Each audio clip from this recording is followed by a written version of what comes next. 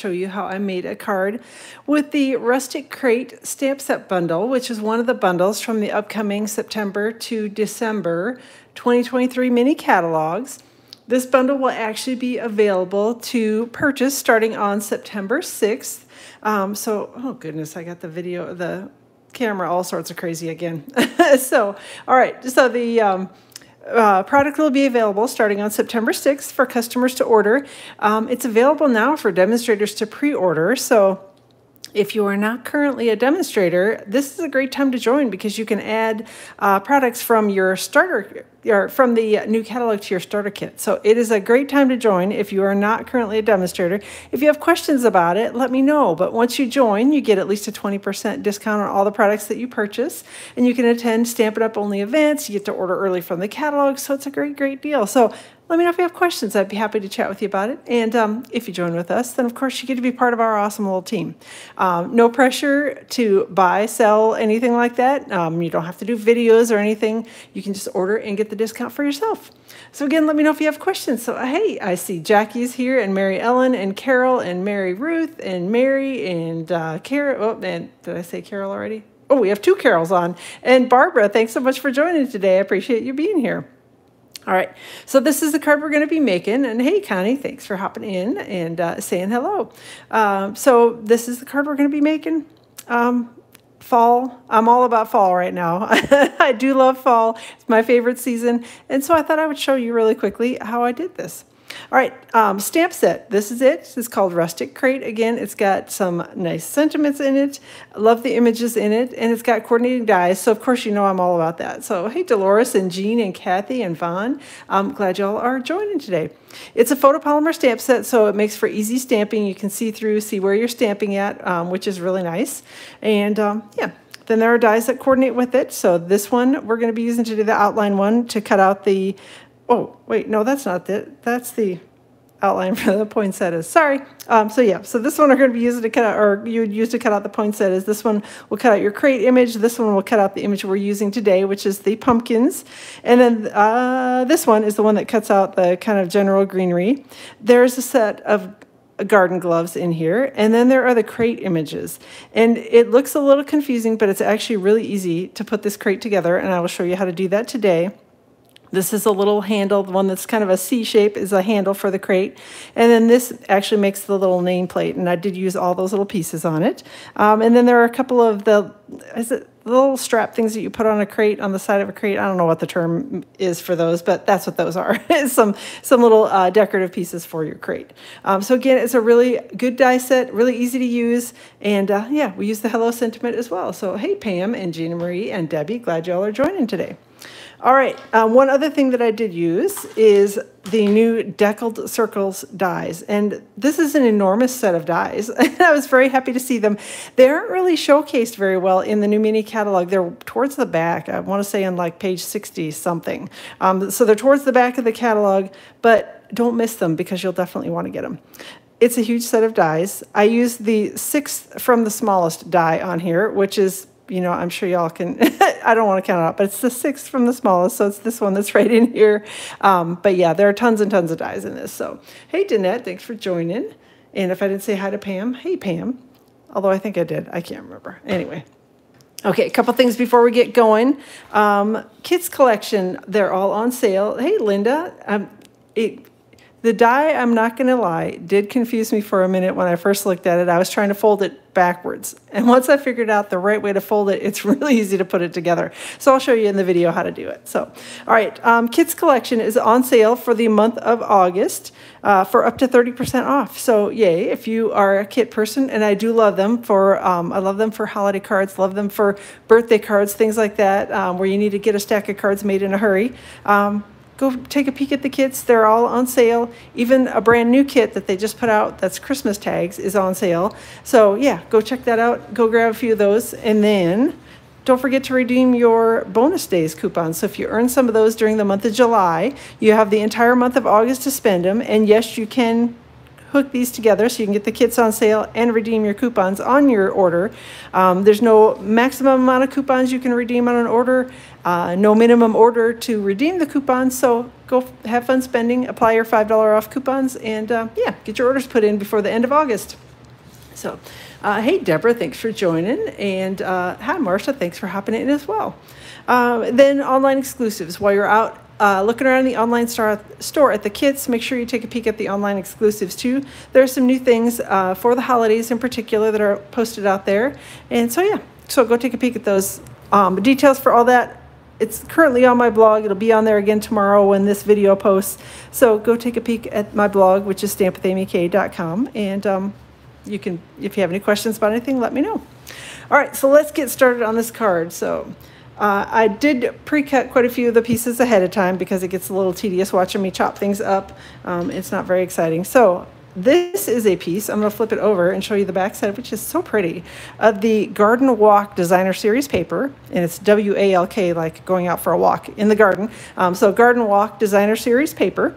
Um, and it is in the upcoming mini catalog as well. Again, will be available on the 6th of September for customers to purchase.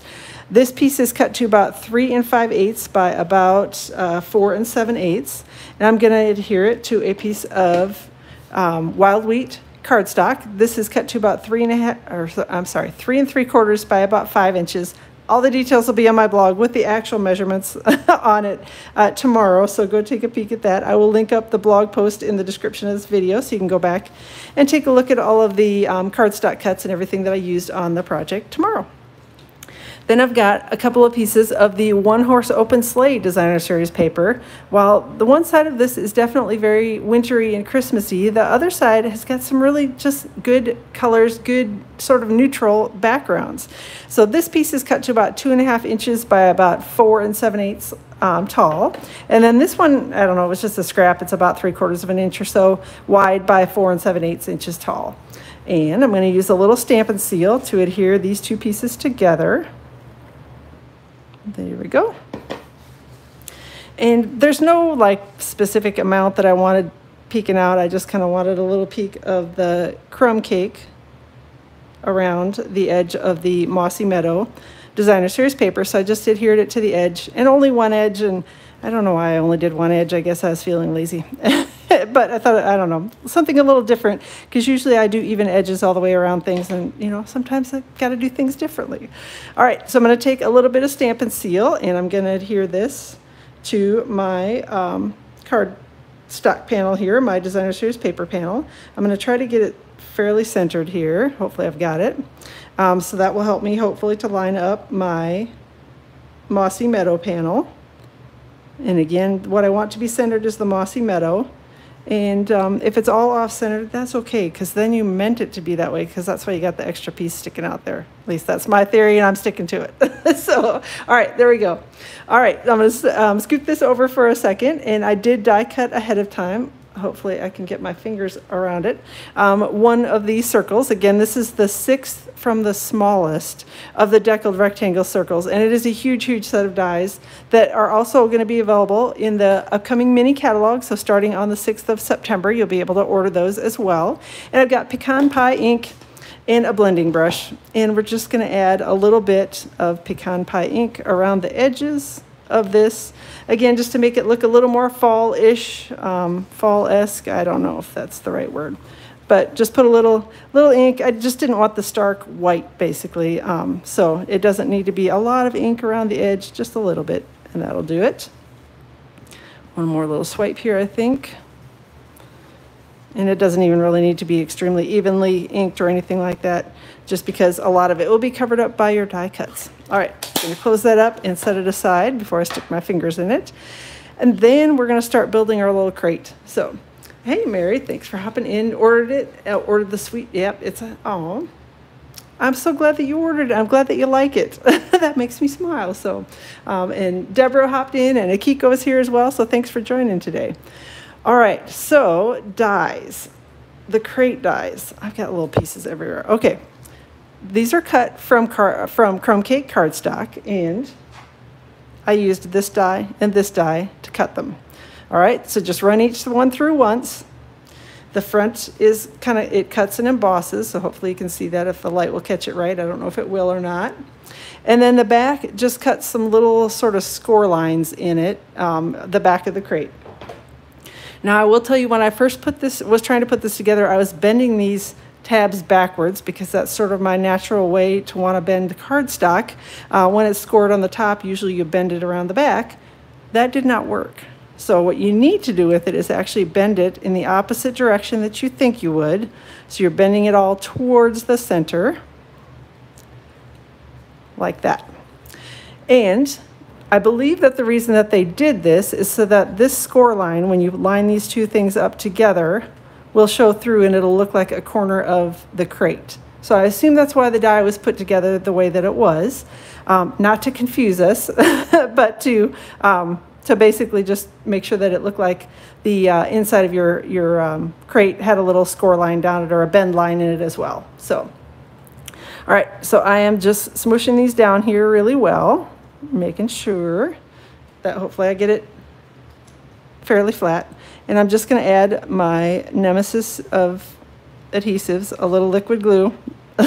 you all know, if you watch my videos, you know that I do not love liquid glue because I usually end up with it stuck to me and everywhere that it shouldn't be. Then I'm just going to take my front crate die cut and we're just going to lay it down over the top of the bottom crate. And I'm going to turn it here.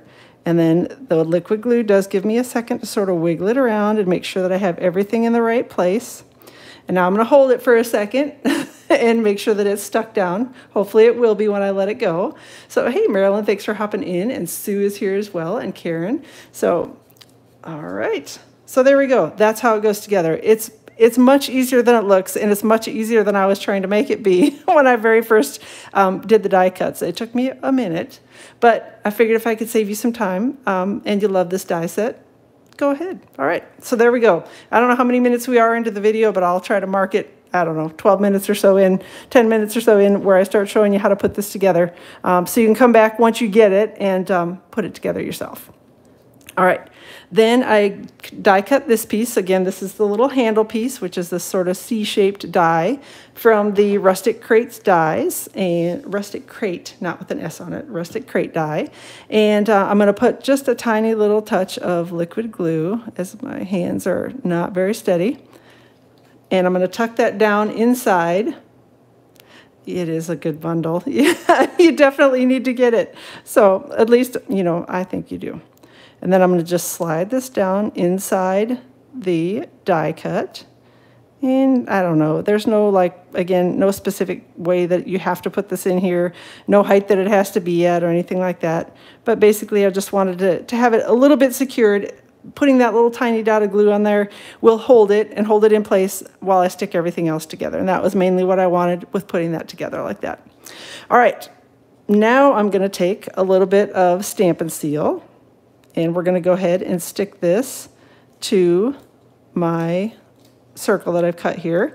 And I should say, you know, a little bit, a lot of Stampin' Seal that I'm putting all over this, gooping it around. Whoop, there we go. I'm gonna pull back my circle and we're just going to take that and sort of roughly center it. A little bit of the crate's hanging off, but there you go. That's it. So um, oh, I'm glad it helped you. Yep, it's definitely, definitely um, it was confusing to me when I first looked at it. So you're not the only one. If you're confused by it and can't figure out how in the world to get it to work, you're not the only one. Like I said, it took me a couple minutes of bending everything the wrong direction before I finally was like, oh, just turn it the other way and then it works. All right, so I did die cut um, ahead of time. Whoop, almost dropped it. Uh, this is the little, the, the double die cut little strap things here for the side of the crate.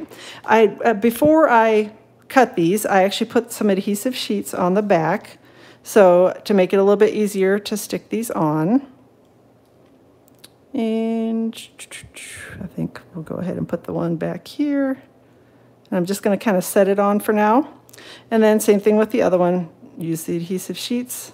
And I do find that a tweezers or your pokey tool or whatever um, makes it much easier to peel off the adhesive sheets because sometimes they can be, know, a little stubborn. They want to get, they stick really, really well to the back of the cardstock, especially after you run it through the die cutting machine. All right, so there we go. Stuck those on with the adhesive sheets. So super easy so far.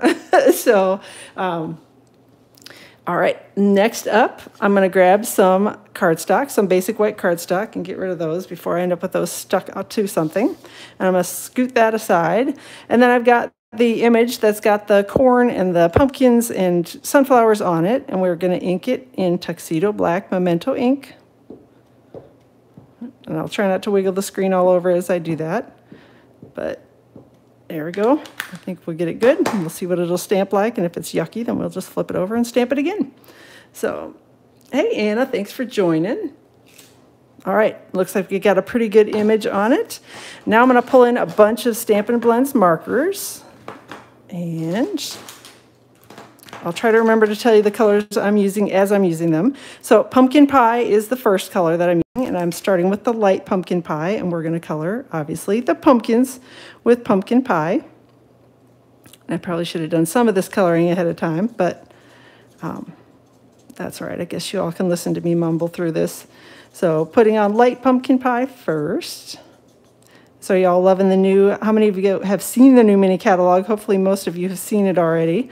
Um, I know I mailed mine out to my customers uh, and I'm hearing that they're starting to arrive, so I'm always excited and happy to see that, um, see what how, how, my customers like it. And I'm hearing from most of them that they're loving it, so I'm hoping that everybody is as well. Everybody else is, so it's been one of my favorite catalogs in a while, so I really, really like it a lot. So, all right, Gonna move on to dark pumpkin pie, and we're gonna add a couple little shadows in here. So, hey, Karen, thanks for joining, no worries. You know, I know that can't spend the entire day with me, so, you know. All right, gonna add in a couple shadows here with the dark pumpkin pie Stampin' Blends marker. Color that in down there. Do some little shading here, kind of, again, areas where I feel like it would be darker. I am not an excellent um, person at the you know, knowing exactly where all the shadows and things go. I generally tend to sort of follow the, the stamped image. If there are any clues on there, you know, the little extra lines and things that they put on, that helps me to know exactly where I can and um, where I should and shouldn't add the, the um, shadows at. So, all right. So again, just coming in and trying to blend away some of the, a little bit of the harsh line on the pumpkins with the light pumpkin pie Stampin' Blends marker. And I can see a couple people left comments, and I'll look up in a second, but I don't want to look up while I'm trying to color these pumpkins, otherwise I'll make a total mess of things. So, all right, so those are colored. Um, loving everything in the mini. Good, good, good. I'm glad to see that. Looks like everybody is too. So, uh, what are the other small dies with the holes for? I'm assuming that you're talking about these.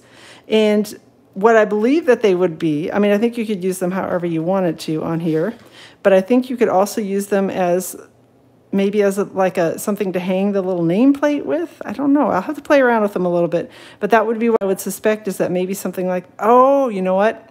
It just occurred to me what they're for. They're for the corners of the corners of your of the crate, you know how they reinforce them sometimes with those sort of rounded look. That's what they're for. so I hadn't I hadn't actually cut them and hadn't played with them yet. So, um, but yep, at least I believe that's what they're for. Is that you put them on the corners of that. Okay. Um, next, I think we'll do the coloring of the sunflowers, and I've got light and dark um, daffodil delight brackets. Okay, that's yep. So, it, I, hopefully that's what the corner pieces are called. So. There we go. Again, starting with the light Daffodil Delight to color in most of the sunflower. And I'll try not to go too far out of the lines. Sometimes my coloring is a little better than others. But that's the one nice thing about the blends is they're very forgiving, particularly on these types of images where there's a lot going on. Um, if you accidentally color out of the lines like I do very often, it's pretty easy to, to cover it up and just color with another Stampin' Blends marker and sort of blend it together. And then nobody knows you made a mess. So, all right. Um, got dark Daffodil Delight. And again, I'm just coming in in the areas where um, the shading is already drawn in on the stamp for me, which helps me to figure out where to put the, the shading in the dark for my, again, this is Dark Daffodil Delight that I'm coloring in here. And I see somebody said they feel like they've already purchased half the catalog. I'm not even going to tell you how much of the catalog I purchased. if you saw my unboxing video, you have a pretty good idea of how much I've purchased. And it's a lot more than half. so I didn't buy every single thing. I promised. I left a few things, you know, for you guys to, to discover in the catalog yourselves. Um, and I didn't want to, you know, like take it all from everybody else, but I took a lot of it because I really liked it. so I feel like, like I said, I feel like it's one of the best catalogs we've had in a while. So, um, and I always get excited. I love the holiday catalogs anyway, and the fall, and you know, I just that's my favorite time of year, favorite time to to um, make cards. So I'm always happy when the holiday catalog is here. All right, uh, pecan pie is the next Stampin' Blends that I'm using. And I'm using the light first to color in the center of my sunflowers. So time to buy a lottery ticket? Um, yeah. yep, I definitely, definitely agree. So, um, oh, I'm glad your catalog arrived, Connie. And uh, yep, always exciting. So, all right. And then I'm just going to come in with a little bit of the dark, a little bit of dark, not a lot. Um, and that, you can barely even see it on there. So if you don't want to go back with that, you don't have to. All right, Old Olive is the next one. And I've got the light Old Olive Stampin' Blends marker. And I'm using that to color the leaves for, um, I think these are pumpkin and sunflower leaves, but I'm not entirely sure. They're different than the corn, uh, corn leaves or corn husks. So I went with a different color of green on those. A little bit lighter. So, all right. So light old olive, and then I'll come back in with a little dark old olive, and again, just kind of add in a little color where I feel like it would be a, a little bit darker underneath the leaves or the petals of the flower, and anywhere where the leaves are overlapping. And then I'm going to come back with my light, just make sure that I filled in all the spaces, and kind of lightly do a little bit of blending anywhere where I feel like there's a harsh line. All right, there we go. Almost done with the coloring. Next up is wild wheat, and I just used the light wild wheat on the corn. Um, if you want it to be, you know, want to do a little more shading on it, you certainly can do that. Add in some dark wild wheat, but I just went with light. All right, because I didn't want the corn to get too, too dark, but I also didn't want it, I thought about using yellow, the um, daffodil, but then I'm like, eh, then it'll blend, blend in too much with the sunflowers. So I wanted them to be a little distinct, but not way, way different. All right, then I've got Mossy Meadow for the last um, color here that I'm going to be coloring in the, whoop, and that's the dark. Eek, that is not the one I wanted to start with. That's okay, we're going to add some dark in anyway. So like I said, the blends are pretty forgiving if you do what I just did and do a little, whoops, that didn't mean to color like that. So then I've got my light Mossy Meadow to come in here and color a little bit down in near the sunflowers. And then the final little corn image over here. All right, I'm going to come back. I've got um, dark, and I already colored the one piece really um, with a lot of dark, so I don't probably need to add too much more to that one. But I'll add a little bit around the edges of the other images here.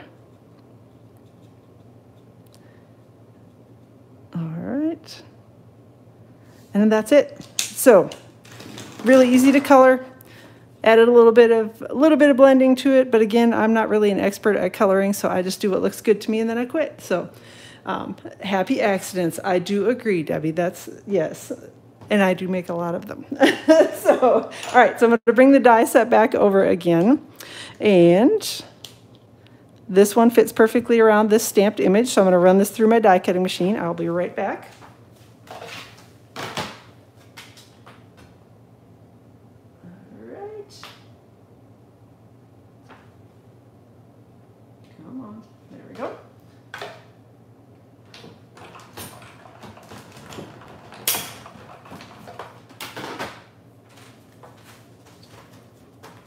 And there's my die cut image. Now I'm just going to grab a little bit of Stampin' Seal and I'm going to run it across the back a couple of times. And then we're going to take that and we're just going to tuck it down inside the little basket that we've already created. And I, you don't have to push it all the way down into the basket. If you don't want to, you can put it as far in or out as you want to. I just wanted to make it look like there were things peeking through the little cuts on here, the little um, slits on the side and a little cut on the front. So that was sort of how I decided where to place it on here. And I'm just smushing it down so that my the adhesive sticks. Then we're going to take that and we're going to actually put it on the card front, which I totally didn't even assemble. So, oh, I'm glad you're liking it. So, it's it's a fun little stamp set, and I love I love it when I can create a scene with dies instead of you know creating a scene by being crazy and loud and obnoxious. So I like to I love to create little scenes. And fall, like I said, fall is my favorite time. I love the colors of fall. Um, so, yep, always happy to create fall cards. All right, peeling off the Stampin' Dimensionals, I do chop my Stampin' Dimensionals in half. Um, if you don't like to do that, you can certainly use whole Stampin' Dimensionals, so it's completely up to you what you like. All right, stick that to the card front, and then I'm going to stick the entire layered card front to the card base. Um, the card base is Mossy Meadow, and uh, my original card, I'll show you in a second, is a top fold card. Um, so the details for it are going to talk about the top fold card as far as the card base goes. But I also like to show if I have a card base cut um, that you can pretty much most of my cards you can either do on a top fold or a side fold or a book fold card. So you can choose which your is your favorite type of card base and um, use that with your card. So this is just a standard book fold card. So it's five and a half by eight and a half scored at four and a quarter down the middle. So it's a half sheet of cardstock. And then I've got, um, this one is my original card, and it is a top fold card. So that's how I do it. This is four and a quarter by 11 and scored at five and a half across the top. So there you go. All right, and the video on my computer just got a little fuzzy. I'm hoping that I'm still clear for you guys, so holler at me if it's not looking great, and I'll see if I can make some changes to it, but I'm hoping the video is still looking okay. Um, so also did a little die cutting ahead of time with um, this die. This is like the little, I don't know, nameplate die or the, the die that you would write whatever's in the basket on. Um, and it's actually, a, it's a pair of dies. So when you cut it, you're going to get this and this both. Um, so I've cut some of it from basic white cardstock, all clear good. Okay, sometimes my computer gets all fuzzy and I don't know why. And then I worry that it's looking all yucky for you guys too, and I'm glad it's not. So, all right, pecan pie. And got, um, there we go. Gonna ink up the little for you sentiment. Get rid of the little scraps of icky on there. And we're gonna stamp it on the die cut. So there you go. All right. And then I have got um, this is I had cut from Good for You also, Karen. Thanks. Um, I appreciate that. So I had cut this from gold foil sheets ahead of time. And I had put the adhesive um, sheets on the back of it before I had cut it. So I'm going to try to layer this together and hopefully I can get it lined up reasonably well.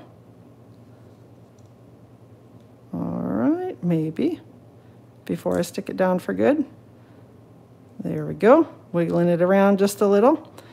All right, so we can adhere the two together. So uh, loving the color. Oh, I'm glad. Like I said, fall is my favorite season, so I love all the colors and everything about fall. Love the leaves. So, all right.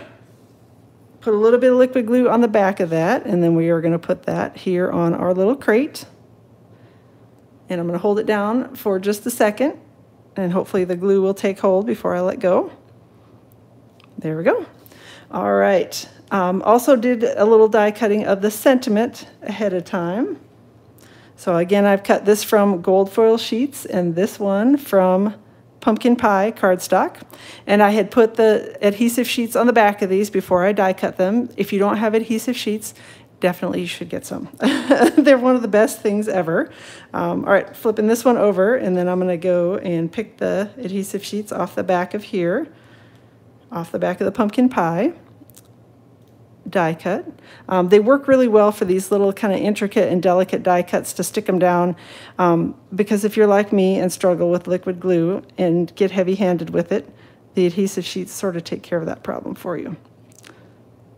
All right, what I want this to be, whether it'll end up being or not, is I wanted it to have just a little peak of the gold around the edge of the pumpkin pie die cut.